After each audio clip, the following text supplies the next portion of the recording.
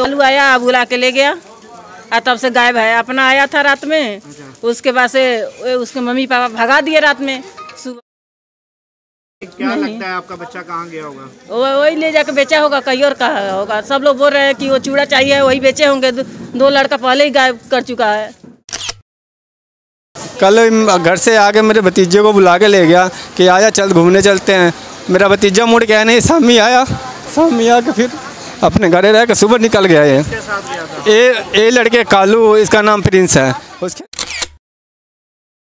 करके हमें डाउट है कि इसके साथ ही गया इसने मेरे भतीजे को या तो कहीं बेच दिया या तो किडनैप करा दिया हुआ है।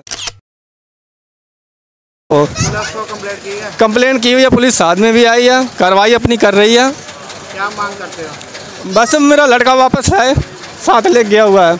इसके पापा आए थे रोटी खाने भाग गए उसकी बहन भी भागने वाली थी भागने नहीं दी हम अच्छा बहन भी भागने वाली भागने वाली थी भाग रही थी बार बार उसको रोक के रखे हुए ਵਾਰਡ ਨੰਬਰ 15 ਦੇ ਨਿਊ ਪਨੀਤ ਨਗਰ ਦੀ ਗਲੀ ਨੰਬਰ 2 ਦੇ ਵਿੱਚ ਕੱਲ ਦੁਪਹਿਰ ਤੋਂ ਆਯੂਸ਼ ਮਿਸ਼ਰਾ ਨਾਂ ਦਾ ਇੱਕ ਬੱਚਾ ਜਿਹੜਾ ਆ ਉਹ ਕਿਸੇ ਆਪਣੇ ਅ, ਗਲੀ ਗਵਾਂਢ ਦੇ ਵਿੱਚ ਹੀ ਰਹਿੰਦਾ ਇੱਕ ਮੁੰਡਾ ਪ੍ਰਿੰਸ ਉਹਦੇ ਨਾਲ ਕੱਲ ਦਾ ਕਹਿੰਦੇ ਗਿਆ ਹੋਇਆ ਉਹਦੇ ਦੂਜੇ ਬੱਚੇ ਦੇ ਘਰੇ ਗਏ ਆ ਤੇ ਉਹਦੇ ਮਾਪੇ ਨਹੀਂ ਸੀਗੇ ਮੌਕੇ ਦੇ ਉੱਤੇ ਤੇ ਉਹਦਾ ਨਾਂ ਵੱਡਾ ਭਰਾ ਸੀਗਾ, ਉੱਥੇ ਨਾ ਉਹ ਮੁੰਡਾ ਸੀਗਾ ਮੌਕੇ ਤੇ।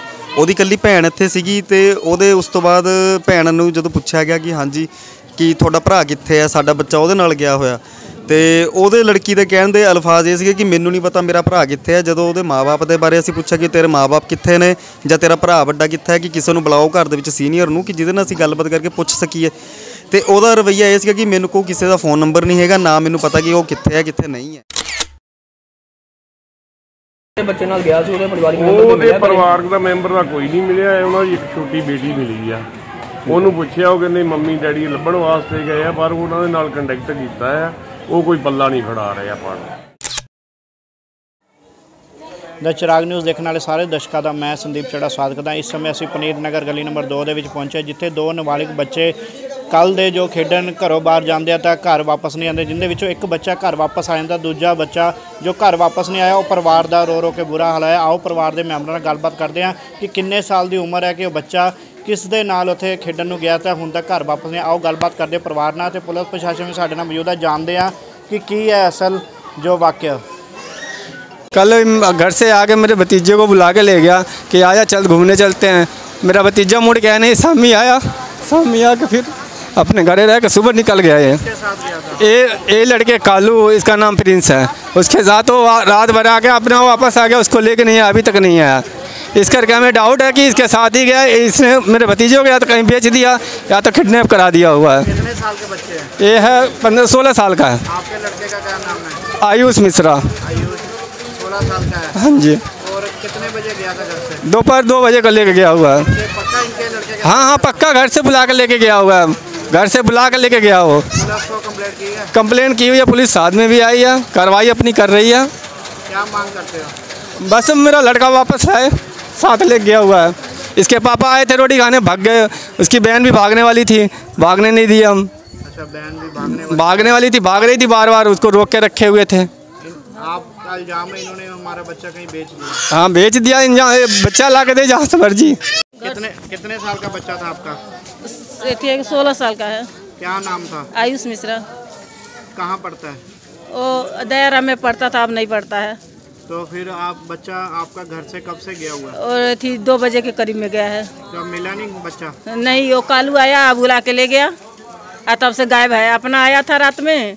उसके बाद से उसके मम्मी पापा भगा दिए रात में सुबह।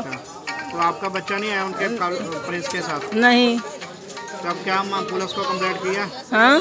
तो क्या कहती पुलिस? पुलिस आई है पकड़ रही है उसके पापा भाग गए उसके मम्मी भाग गई लड़की है घर में। अब आप क्या मांग कर रहे हो? क्या मांग करूँगी? मेरा लड़का चाहिए।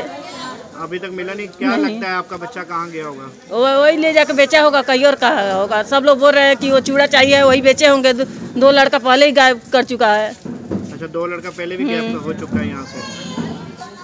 अब मांग कर रहे हैं पुलिस से? पुलिस से बात हुई है? पुलिस प्रशासन से बात हुई आप हाँ। क्या कह रहे हैं? ढूंढ के निकालेंगे लड़के। आपके लड़के के साथ लड़का गया हुआ वो बोल रहे हैं। मेरे लड़के के साथ नहीं गया मेरे लड़के तो ये दोनों हैं। फिर किसके साथ गया? जिसकी मौसी तो मम्मी तो घर पे नहीं है जिसके साथ गया तो मम्मी आके फिर गल कर लो। सानू ना फिर लड़का कहाँ गया?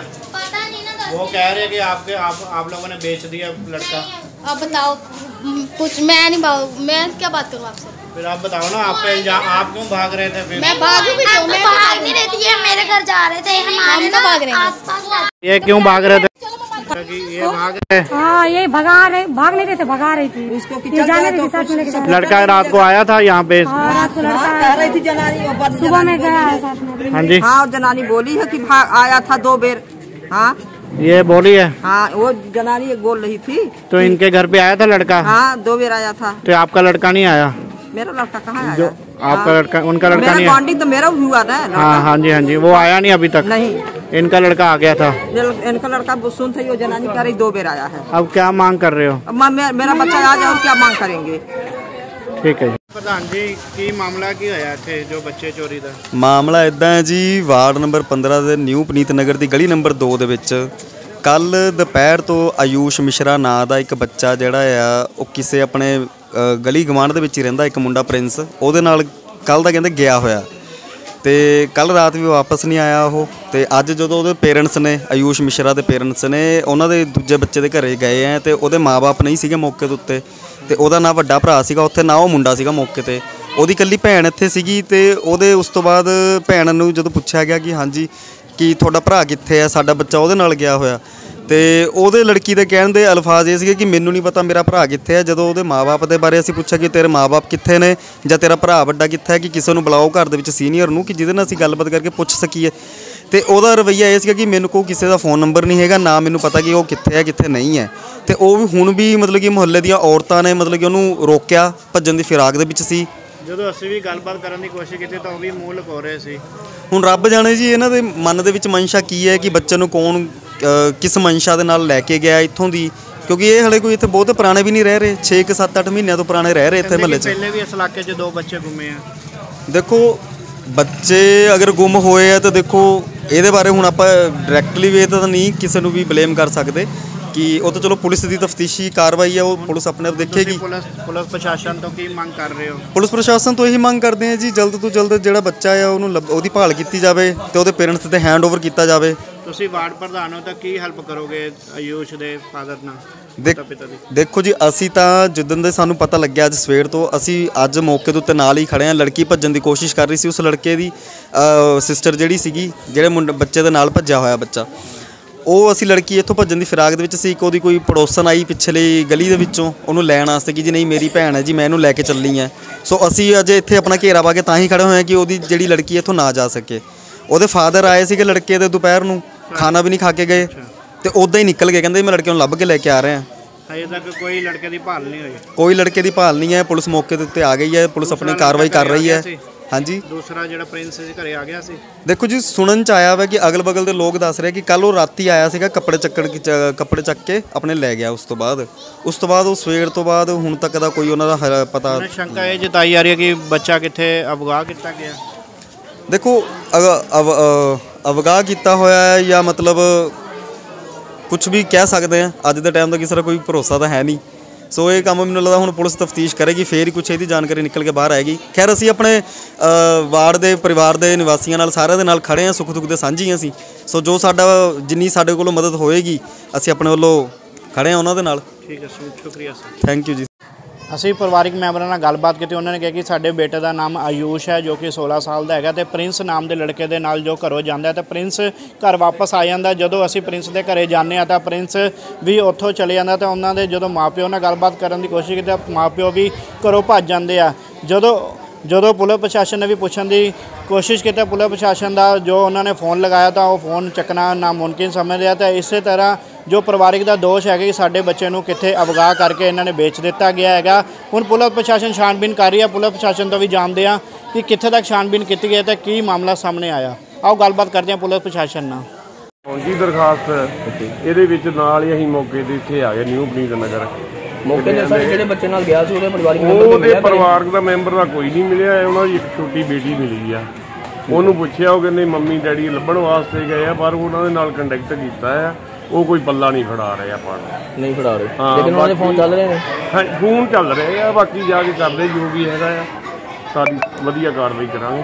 ਪਰ ਫਿਰ ਵੀ ਇਦਾਂ ਬੱਚੇ ਨੂੰ ਨਾਲ ਲੈ ਕੇ ਜਾਣਾ ਆਪ ਵਾਪਸ ਆ ਜਾਣਾ ਇੱਕ ਬੱਚੇ ਦਾ ਤੇ ਇੱਕ ਬੱਚੇ ਨੂੰ ਛੱਡ ਆਣਾ ਕਿਤੇ ਨਾ ਕਿਤੇ ਇਹ ਹੈਗੇ ਤੇ ਦੋਨੇ ਹੀ ਮਾਲਕ ਹੈ ਹੁਣ ਪਤਾ ਨਹੀਂ ਕੀ ਇਹਨਾਂ ਦਾ ਹੋਇਆ ਮਨ 'ਚ ਕੀ ਹੈਗਾ ਕੀ ਨਹੀਂ ਹੈ ਚਲੋ ਬਾਕੀ ਚੱਲ ਰਹੀ ਹੈ ਇਨਕੁਆਰੀ ਉਸ ਹਿਸਾਬ ਦੇ ਨਾਲ ਜਦੋਂ ਆਉਂਦੇ ਆ ਫਿਰ ਕਰਕੇ ਵੈਰੀਫਾਈ ਸਾਰਾ ਕੁਝ ਦੱਸਦੇ ਆ।